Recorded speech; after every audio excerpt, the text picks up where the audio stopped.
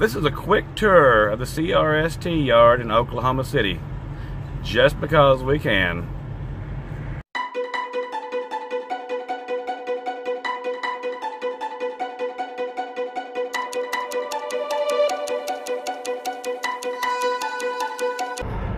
Okay, everybody, I thought we would take a drive by the CRST yard in Oklahoma City today, just for shits and giggles. This is the CRST yard, folks. I used to have a bunch of trucks laced on here, so hey, I can drive through, right? Here's the shop, as you can see. They're actually a very nice shop and they do pretty good work. They do orientation here at this CRST yard. And um, they also teach people how to tie down flatbed stuff for, for Malone.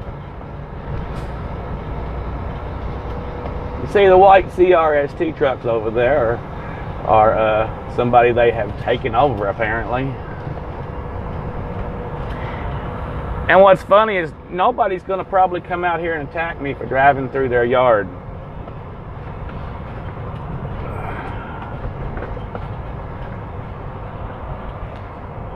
But then again, they might.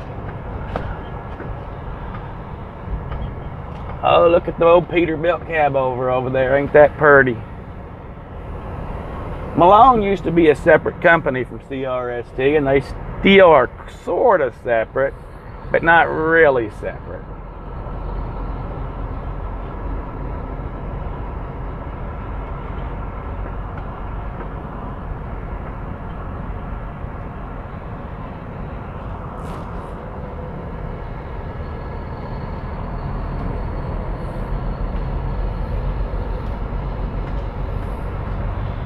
This isn't the most terrible company to lease onto if you want to run a bunch of trucks.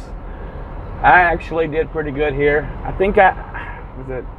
I either had four or five trucks here at one time.